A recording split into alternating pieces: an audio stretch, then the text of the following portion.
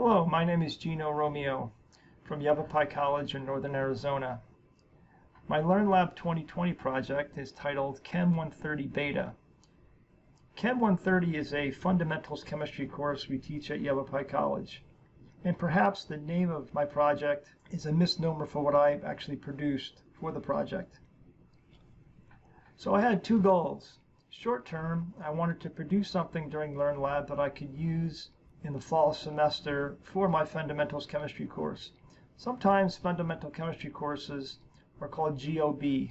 GOB stands for General Organic and Biochemistry. What I produced in OLI is a set of practice problems for students to reinforce their knowledge on the blood buffer. This is something we talk about after we've completed the chapter on acids and bases. There are three items in this module. The first item is a couple videos that I produce for students to learn about the blood buffer. The second item is the actual content and exercises I produced in OLI. The third item is a worksheet the students would complete after they've gone through the exercises and practice in OLI. This presentation is going to focus on what I produced in OLI, the blood buffer online activities. The long-term goal is to develop a GOB course using an existing OER GOB text that has been imported into Echo. Considering a face-to-face -face class, the order of operations would be to complete the module on acids and bases. Then the students would encounter this module. They would view the videos on the blood buffer and complete the activities I created in OLI. Then print the blood buffer worksheet and complete it in class. There is where I hope to spend little time explaining lecturing on the blood buffer and the blood buffer worksheet since they had the opportunity to reinforce all the concepts they needed through the OLI activities. Next, I'll show you the activities I produced using OLI. Then I'll show you how I produce those activities using Torus. There are six sets of activities. The first two I classified as learn by doing and the last four, did I get this? All six of these can be considered scaffolding exercises in preparation to complete the blood buffer worksheet. But these first two, trends in pH and trends in pH of buffer solutions, are actually scaffolding for the subsequent four. I'm not going to spend a lot of time going through each one, but I'll just click on the exercises just to give you a sense of how they come across to the student. I've included three hints for each of the exercises and feedback for every incorrect answer choice.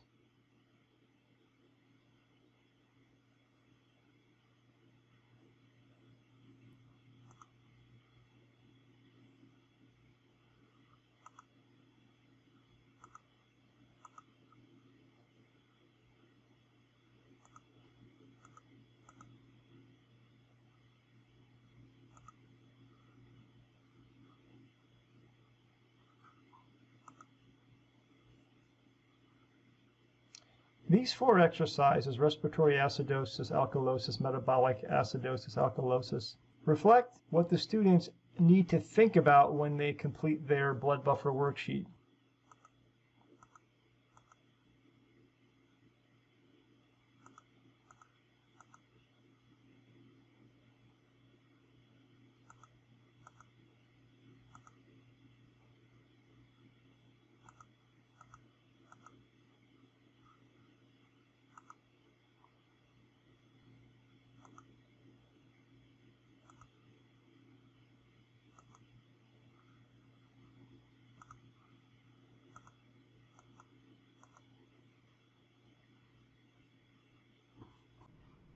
Next, let's take a behind the scenes look in Torus. I found using Torus very intuitive and sort of easy. I had fun. Here's a place where you could create the objectives and you could create sub-objectives or skill level objectives for any one of the objectives that you have simply by clicking on an objective and clicking on the plus sign.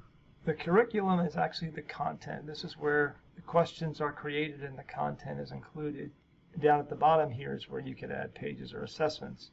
Within a page, you could add assessments. So these are pages, and I'll just click on this one here and go to edit page. We could take a look at how things work. So there are four assessments in, in this page. And I, I chose Learn by Doing for all these. Of course, you can see you have the other options. And here's where you could choose the objective.